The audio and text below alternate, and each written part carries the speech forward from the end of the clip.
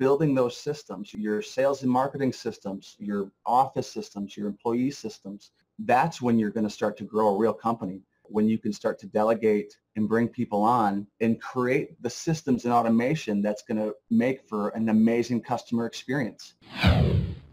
Welcome to the My Future Business Show, where we get you in front of your best audience and keep you there. Not only are we interviewing the biggest names in business to help you become even more successful, we're inviting you to book your spot on the show to help you grow your business. So at the end of the call, make sure you fill in the interview application form at myfuturebusiness.com forward slash interviews. Hi, and welcome back to the My Future Business Show. My name's Rick Nusky, and on today's call, I'm on the line with Shane Whelan. How are you, Shane? I'm doing good, Rick. How are you? I'm very well, thank you very much. Now, we've been talking about the entrepreneurial journey and some of the things to be aware of.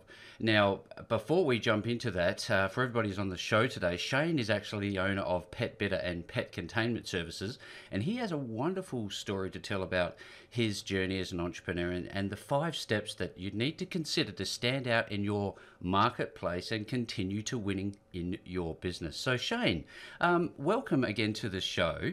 Before we jump into the nuts and bolts of the core, I'd love to learn a bit, of, a little bit more about you, where you're located, and how it came to be that you're doing what you're doing today. Well, I live in Milford, Michigan, with my high school sweetheart, Emily, and I own a service business called Pet Containment that installs invisible fences and a software business called Pet Bidder that is a sales and bidding tool for pet service companies. And I love all things business. I've always been just really curious about interesting things and interesting people. And my whole life, I, I had thrown myself into things, sports and music and whatever. And once I got to be like a young adult, I didn't know what to do. And I, I remember driving to work I was working landscaping and I remember driving to work at seven in the morning, silently crying to myself because I just hated my life and I felt like I was just meant for so much more. But when I started my business, you know, it consisted of me just driving around in my pickup truck with a shovel, trying to make it happen. You know, I had jobs that would take me two entire days. And um, that first year, I think we, I did like 14 grand in revenue. You know, I didn't know what I was doing. Here in Michigan, having three months off to kind of like regroup and recalibrate. Uh, you know, I got a website. I started marketing that website. I started to, you know, learn some stuff and I started to go deep into my referral and networking groups. And when spring hit, things just took off. Um, I was able to pay off my student loans and my business loans. I was doing it. I had a van and a trencher. And by the end of that year, I had done, you know, over six figures in revenue or over over a hundred thousand in revenue. Mm-hmm. And even though I was exhausted, I was really excited about the future, you know. But one really unique thing about the pet fence industry is that it's a one-time service, right? Yes. Your your customer, they're only going to get that fence installed once, maybe twice down the road if they move or and they might do a, a service call down the line or buy a, a product or something, but you're really making a majority of your money on that initial upfront install. And so, yes, yes. So to say it's cutthroat, you know, is an understatement. And I kind of learned that the hard way. But, you know, your customer has to have a dog. They have to be into the concept of invisible fencing. Then they have to hear about you. Then they actually have to go with you. So there's a shortage of work where everyone's just trying to get that next job. And so when someone comes out of nowhere and makes a six-figure dent in a tiny niche market, looking back, you know, there was a ripple effect. And all of a sudden that following spring, I was on all of my competitors' radar. You know, yeah, um, yeah. People started being really nasty to me. People, you know, I would have a legitimate, good conversation with, you know, a, potential customer. We'd schedule the job, and then she'd call back 30 minutes later saying, you know what, Shane, we are no longer interested in working with you. Click. Wow. And stuff like that would happen all the time. I had a competitor write the first bad review I got. It. They wrote it as the business, and it just got to be like crazy. And some of the stories are so like crazy and nuts that they're not even worth sharing. But dealing with that on a daily basis, it'll start to wear on you. You know, the weird things that people would bring up you start thinking like, well, maybe I did do that and I don't remember. It became like this daily battle for my mind and for my heart, you know. Yeah, well, I uh, I'm sitting here, Shane. I'm thinking to myself. I, I looked at some of the, the bits and pieces inside the bio about being attacked via you know these reviews, and it was it was quite shocking, especially given that it's a legitimate organisation. You're doing things to uh, for the betterment of the, the, the pet industry, as it were. Uh, how was it that you were able to steer your mindset such that it did stay positive through those dark days? Was it how how, how difficult must that have been? Um, there was some legitimately bad days, and you know, but I just took that stuff on the chin, you know, mm-hmm. on a mm-hmm. daily basis. I think one thing that I did do did do right was making the decision to look inward instead of outward. You know. Yes. And I made it my mission that my competitors' names and their company would never leave my lips. You know. And so I was so focused on going inward. You know, I, I learned how to be really resourceful. You know, mm-hmm. once I was finally able to get that customer, I was the customer experience and referral king I needed that five-star review. Every aspect of the job was perfect. I needed that referral, that five-star review, and I learned how to master my emotions. When people are being that aggressively rude to you, it'll make you mad. And I kind of learned how to give people grace too. You know, people who were so nasty, they only knew what they heard. Yeah. Taking that on the chin, you know, in, in the moment and kind of slowly turning it around so that they could see things for exactly where they were and so, and I would not want to go through any of that ever again. No. you know? oh, look, you know, this is this is the value that the My Future Business show brings to its audience. You know, we have these up and coming entrepreneurs, existing business owners, and book authors, and we all go through struggles. A lot of which, uh, you know, we're talking about here is external forces, and as well as our own uh, internal battles with our mindset and how we perceive these messages. Um, it's so powerful for everybody who's on the show today to, to take notice of these things because these are some of the things that you're going to be facing. I guess in the real world uh, when you go out there. Now, Shane, I'm wondering when when you began to get this momentum and you were getting some positive feedback, the business was starting to to take off. What were you doing differently for that to happen? When that phone call came through, and I knew that you know Mrs. Jones had heard all this stuff. I got really good at just cutting through all the noise and all the riffraff. Yeah. Got really good at just connecting with them and offering huge amounts of relevant value. If they had just moved in from out of town, if they're stressed and they just need it done, whatever that was, if they wanted an in-person quote, you know, over the phone, whatever it was, and offered as much rele- relevant value as we could. And I think the other thing was, you know, just being an expert on, on what we did you know, knowing the, you know, knowing all the cool little tidbits of their particular breed. You know, if they've never been through that process and they feel that you're the expert and you guide them along and, you know, every step of that journey. Yeah, it's it's funny because there are so many different breeds. I can I can only imagine the type of challenge that presents. You're talking here about creating an experience. Now, how important is it for you to create an experience for your customers? I, I think a lot of people really value or push convenience, but that's not the be all end all. It's it's the experience. And you know, when they see that five star review and they call, you know, how does it sound and feel when you answer the phone? What is it like when you give them their proposal? What is it like when your employees show up to do the work? You know, are they clean cut, you know, professional on time employees? And then the back end.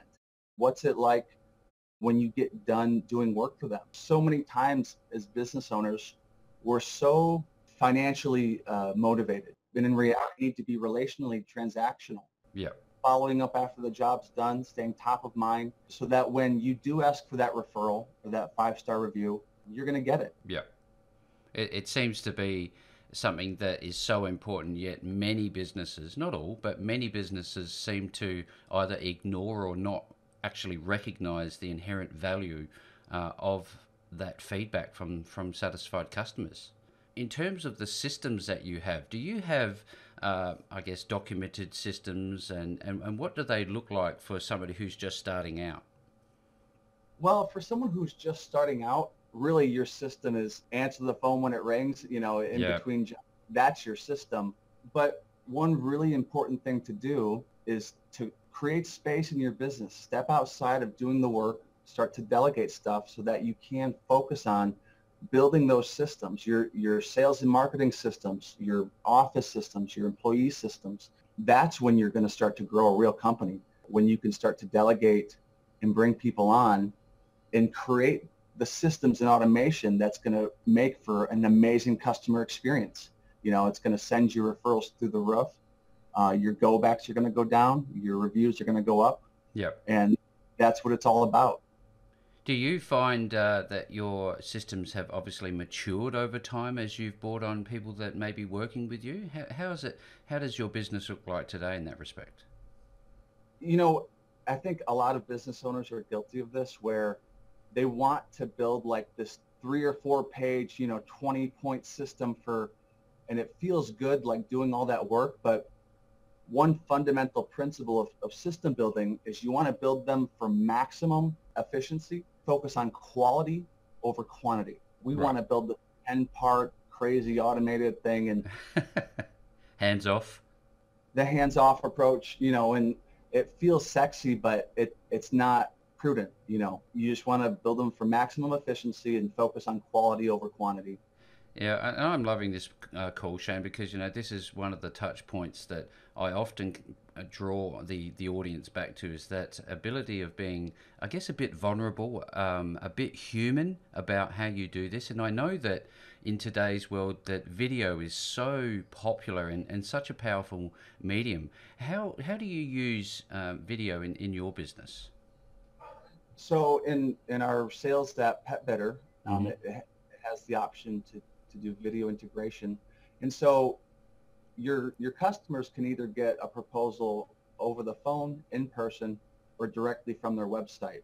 And so to be able to attach a video, whether it whether they're giving themselves a quote or you just gave them a quote, putting a face to the company, putting them at ease, kind of telling them maybe your backstory, why you started your business, that's really powerful. And it's going to really separate you in the marketplace as well because when Mrs. Jones is looking at proposals A, B, C, and D, there's just something different about yours. You know, they, they know about you and your family and your crew leaders and how you're involved in the community and, you know, all that stuff so that they're not even thinking about the price. You know, they're just excited to meet you and to have you on their property, you know. if you're able to properly convey your value, you know, and then you can get really creative with that and the way you follow up when you get done working with them with video integration, videos can really convey a lot about who you are and who your company is. And, this would be the first step in that development of a relationship style marketing, isn't it? Use the use of video. Yeah, to put a, a, face to the company, to kind of put them at ease and kind of explain your your process and how you do things. That's that's going to really separate you in the marketplace, and it's it's going to it feels good. It, you know, you want to be that warm, fuzzy blanket because for our particular industry, the pet industry, people's animals are only one step down from their kids. Oh, absolutely. They're an integral part to our family. I can understand how important this is for, for your customers. Now, I always love to talk about the journey, the entrepreneurial journey, the spark, the genesis of a business idea. Where did the idea for Pet Bidder come from? So what happened was I'm I'm going through all my riffraff with dealing with nonsense daily. What happened was my mom, who is real involved in mission trips and stuff, she, you know, we always go see her after a mission trip, and she's always crying and you know telling us all these stories. And but she came back from one one day, and we went and saw her, and she she's like, you know what, Shane, I, I feel like you're going to get involved with software. You you should start an app for a soft. And she just kept bringing it up, and like. I know nothing about anything regarding software stuff or tech stuff, and but she just kept bringing it up. You know, God really put it on my heart. You should, you should get involved with software, and I'm like, oh, well, that's cute of her. You know, she's thank you. yeah, and but it was in one ear and out the other, and I remember that October we had had what was far and away the best month we had ever had revenue wise, mm-hmm. and I'm like, oh, I can do this. Like, I can have a real company and I had no avatar to look to. I, I don't know what's possible or, and what's not possible. It's such a tiny niche industry. I just didn't know. And so I was on cloud nine because I realized I could have a real company. Yes. The following month, I'm like, all right, we're going to double our ad spend for Google AdWords and let's go crazy. Let's stock up for winter. And we went from having the best month we'd ever had to having the worst month we'd ever had.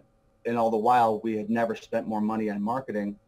And it wasn't until winter hit that I was able to kind of dive deep into it. And what happened was we were being fraudulently clicked.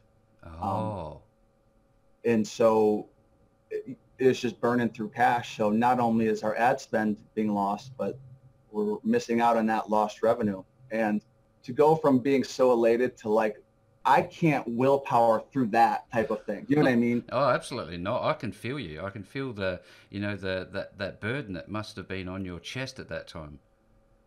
And yeah, and so we had we hired this this specialty company out of San Francisco, and they they had the right software to stop the fraudulent clicks. And I'm like, all right, here's my credit card. I'm like, let's go crazy.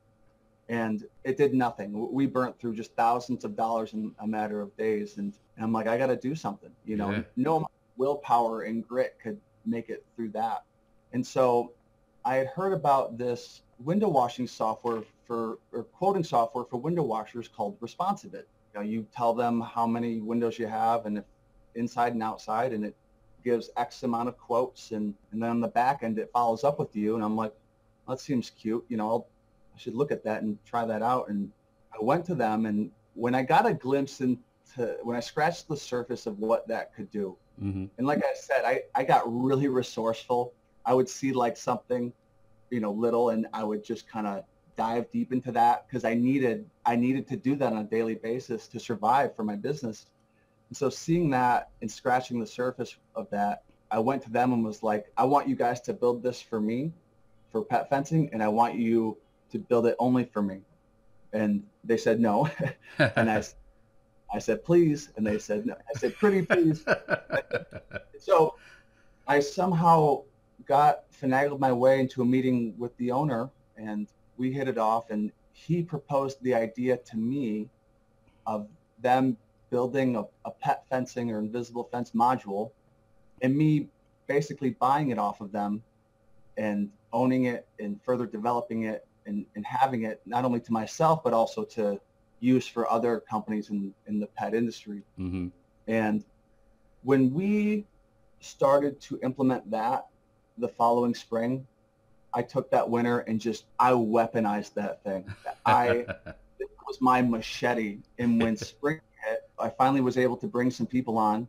In the first three months of that spring, we literally doubled our revenue from the prior spring. We use the thing called Mile IQ that tracks the miles that you drive Yep. we were doing double the revenue, but we were driving way less miles because we weren't driving out to every single new prospect to give Oh, them a course. yeah. Not only were we making way more money, we were spending way less in gas and way less time in driving out. And then we cut our marketing budget in half just to be able to keep up. So the combination of automating our sales process along with me getting out of the field and doing only sales stuff and, and customer service stuff, we literally doubled. And sometimes the smallest iteration, the smallest implementation will, will change everything for you overnight. And as a business owner, there's there's a lot of rainy days, and uh, I don't think you ever hit a point where you feel like you've arrived. There's always just something to do, you know. There's always stuff going on, but there was a point in time where dealing with all the the stuff, you know, hearing all the negativity and, and all this nonsense, like hmm I never felt safe. Like I'd have a good day where there was no craziness. You didn't feel that, you know, you didn't get that crazy call at 9 a.m. And it's like, okay, this is over with. I'm through. And, and then the next day you get that nastiness. And Uh, I know- yeah. I never felt safe. I never felt like I could take a deep breath. Is this is this that that point about being comfortable with being uncomfortable? By making that decision to, to stay in the fire and to dig deep daily, one day out of the blue, I just was like, I'm done with this. Like, n- nothing changed. The the bad reviews kept coming, the the nastiness, but I I knew I'd made it through something, and nothing had changed internally or externally. I just knew that I was past that, and I I just felt different out of, all of a sudden, and so making the decision to look inward and, and to embrace that pain, that's a good thing. Pain's a good thing, and it's going to sharpen you and hone you, and you're going to acquire all the skills that you need to win. Yeah, it's it's an amazing uh, journey, and this is the the essence as to why the My Future Business Show exists is to share these stories of struggle and success and the tools and the things that you go through. Um, so if everybody who was on the call today is, t- is listening to this, take it in and actually take it to heart because this this story makes a difference. Um, now, with your business, Shane, what's coming up next for you? Well, right now, um, we're we're doing a bunch of updates with with Pet Bidder and just building out modules for the rest of the the pet service industry. So, dog walking, dog training, uh, pet waste pickup, you know, all that stuff. Mm-hmm. And so, as people get on board and see the power of automation and and what they can do, it really is a game changer for a lot of these small family-owned businesses. You know, and a lot of them have families. They they have employees and having the ability to drive revenue in a big way and automate your entire sales process, mm-hmm. You'll change your life very quickly. So not only are we building out for the rest of the pet industry, our, big pursuit right now is trying to integrate with with CRMs. You know, in yes. the CRMs that the pet service company is utilizing. You know, invoicing and and scheduling and employee report and all that stuff we want to be the, the, sales and bidding tool uh, that works the front end of your business and your sales process. It's got obviously a lot of things to come. Now, if people want to find you and work with you, Shane, where are they going to go? People can find us uh, on Facebook. Uh, you can find me on Facebook or Instagram or LinkedIn. Thank you very much for that. Now, everybody who is on the call today, uh, lots of gold on this call take down some notes, follow up, and I will be making sure that the links back to Shane are made available below this post. Shane, thank you so very much for spending some time with me on the My Future Business Show today. Hey, thanks for having me, Rick. Thanks for joining us today. If you enjoyed the call, then make sure to subscribe, leave a comment, share us with your friends, and book your spot on the show at myfuturebusiness.com forward slash interviews. And if you're looking for solutions that will help grow your business, then visit myfuturebusiness.com forward slash shop.